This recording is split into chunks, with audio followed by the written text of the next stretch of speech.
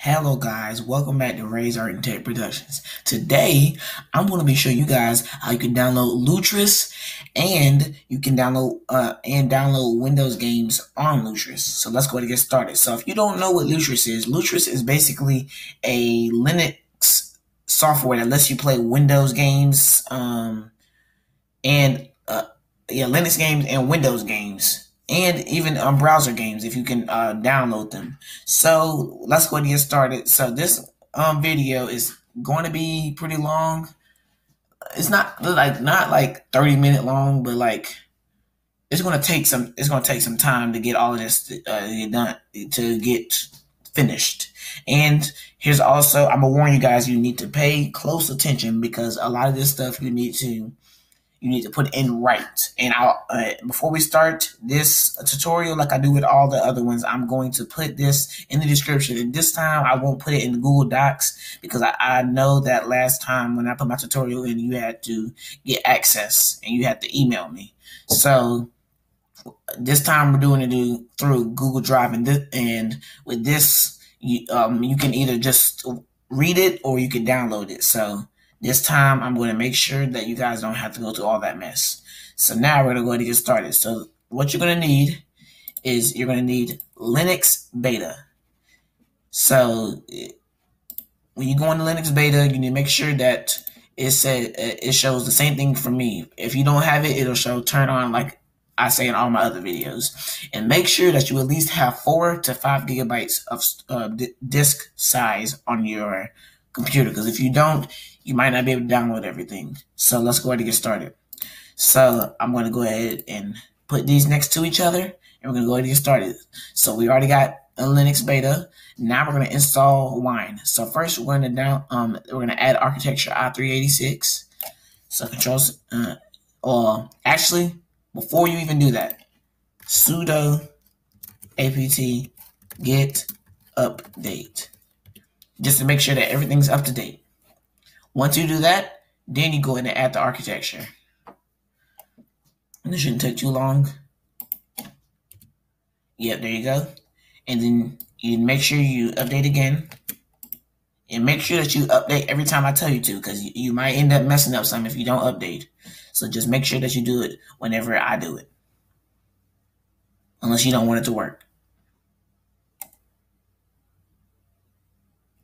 So once this gets done, we're going to go ahead and install the GNU PG2 software properties com uh, common command. So then we're going to go ahead and install that. That, sh that should only be like 25 megabytes. There you go. See, uh, if you didn't see that, I'll go back up for you guys. 25.3 megabytes of additional uh, disk space will be used.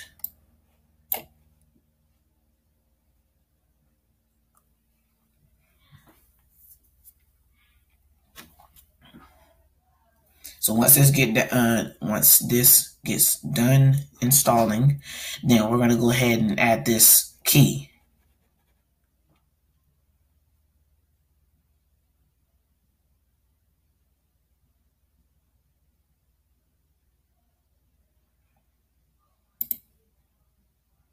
We're gonna and then we're gonna update it. Well, before we uh, add the key, we're gonna update just to make sure that everything's up to date.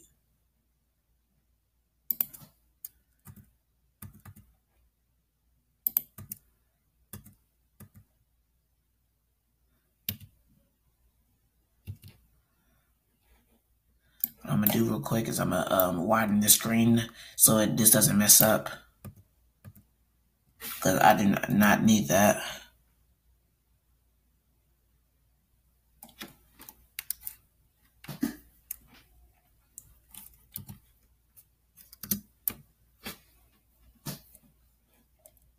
Okay, so now it's done. We're going to go ahead and update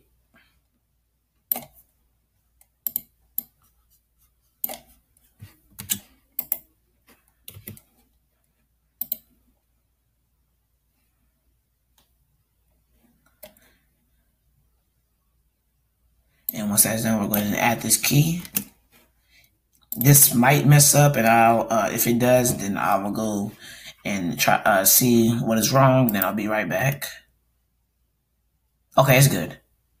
Okay, I, I was thinking that whenever it, it was crunched up, I thought it was uh, I thought it was gonna mess up the key, but it didn't. So now we're gonna go ahead and add this repository. This shouldn't mess up either. Okay, and then we're gonna add this right here.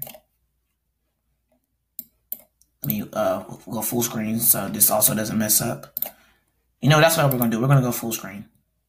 Oh wait, I almost did that again. I forgot to uh, control C. Control C. X out of this. Oh my god, why is it doing that? Okay. now let's control C. Put this in here. Why is it doing that? Oh. Wait, no. Control. Oh, wait, okay, let's try this again. Control C. Unless I'm just like seeing stuff.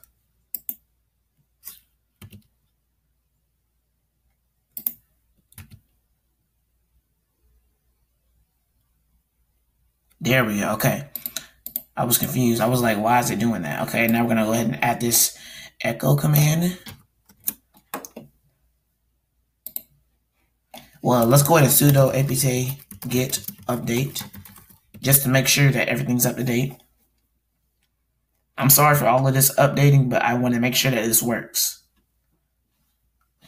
Because I have tried this before, like before this video, I have tried to make sure it, it, it works before I make this video, and it has um it is like stopped working or just like the command wouldn't work. So I, I want to make sure that I update. Okay, that's how you know it works. And then we're going to update one more time. This should be the last time, at least for installing wine, for the installing wine part. Once we do this, here's the part that's going to be long because the uh, installing wine HQ stable right there, it is um like it it takes really long because it's literally like I'm not even being dramatic. It is literally 1,000 megabytes. So, yes, yes, okay it works. See, it's literally 1,000 megabytes. So we can go ahead and say that that is um, a gigabyte right there. Like probably it's probably like one point no not probably no not 1.5. It's it's somewhere close to 1.5. But yeah, we're gonna go ahead and start, and I'm going to skip past this just for you guys, so you guys don't have to wait for this. Okay, guys, so we're back now. So now what we need to do is, since we already downloaded Wine, we're to go ahead and we're to download Lutris. So Lutris is uh, not that hard. Um, you just need to go ahead and download the Python 3 dbus. Mm, you know what? Before you do that, sudo apt get install. Just to make sure that it is... Oh, what did I just do? I, I meant sudo apt get update. I know none of you none of you guys put sudo apt get install. I don't know what I was thinking. Once that is done, then you can put the Python 3 dbus command. So uh, for most of you guys, it should already say um, that it's already installed. We're gonna go ahead and update one more time, and um, we just gotta update one more time later, but later in the uh, tutorial. You guys, you guys can see already what I mean. There's only one more uh, update.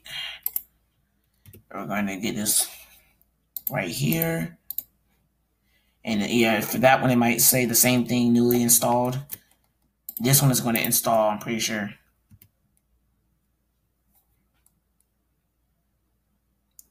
Yeah, this one's gonna take like 22 megabytes. You guys are straight. So really, what took all that space was um was downloading a wine, and then uh, one more thing that's gonna take um, a, a little bit of space is uh, installing Lutris. Lutris takes about what 700 megabytes. I think that's what it was when I tried it. Okay, that's how you know it worked. And once we get this wget um, command to work or this key, then if this works for you guys, you guys have successfully downloaded and there we go. We have downloaded um Lutris successfully. Update one more time. This is the last update of the day. Once this updates, you can go ahead and install Lutris.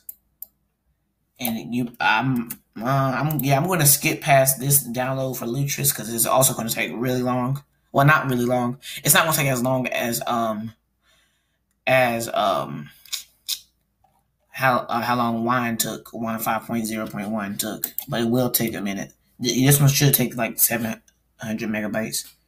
Please, yes, it worked. Okay, actually, I mean that's still around it, so it's going to install, and I'll see you guys in a minute.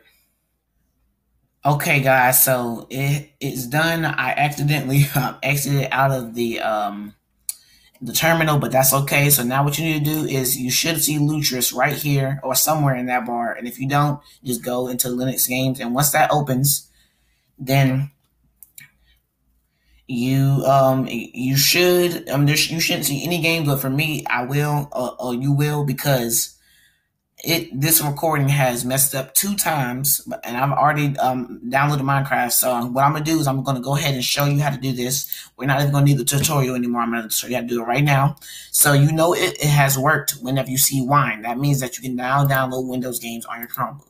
So you're gonna go ahead to Add Game.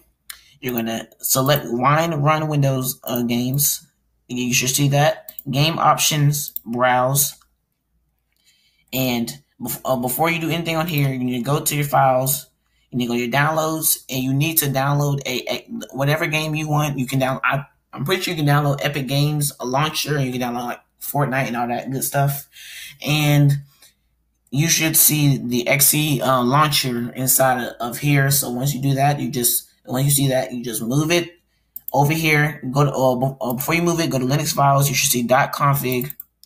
Go into there, Lutris games. Once you see that, I've already did so. Um, so I see this, but for you, you won't see anything. What you need to do is you need to go back into downloads, drag your file into games. Once you do that, you should go into games. You'll see the um, XE file. Once you do that, you're pretty much done. You go to other locations, computer.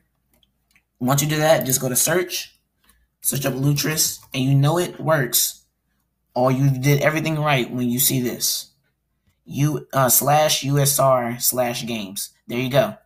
You know you did it right. Just click on it, press OK, go back to it, and you you should see the file that you downloaded or the game that you wanted to download. I um downloaded Minecraft. You did the same thing. You should see the same thing I see.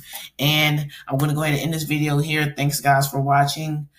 Uh, please smash that like button and um, subscribe. I remember I want to get to that seven like goal and comment if you want me to um, fix like uh, update, give you an update on something. Like if you guys watched one of my earlier videos and it didn't work or something, remember I will um I, I will help you with that. Just make sure you comment. You can email me. You can text me on um if you don't know how to text me, go to uh, go to my homepage and you should see um like just on the home screen, you should see uh, my number and my email. I value the email because I might not see your text every time, so just know that.